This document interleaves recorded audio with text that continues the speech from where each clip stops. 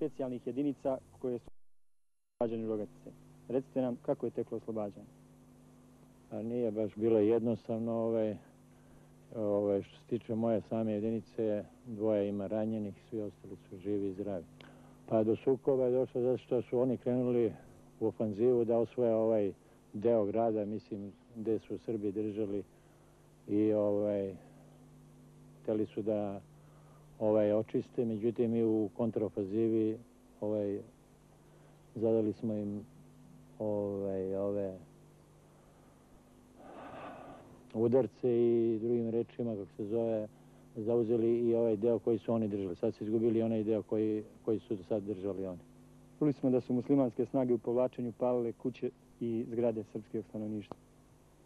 Da, kad su se povlačili, uništavali su sve ovaj srpske zgrade, odnosno kuće i uništavale su objekte koji su dosta značajni za dalji rad. Znači da su htjeli uništiti ono što ostaje da sve tako da nam ništa ne bi ostalo. To su im ovaj barikade gdje su postali da ne bi mogla do, do, ovaj, doći iz ovog pravca naša vozila.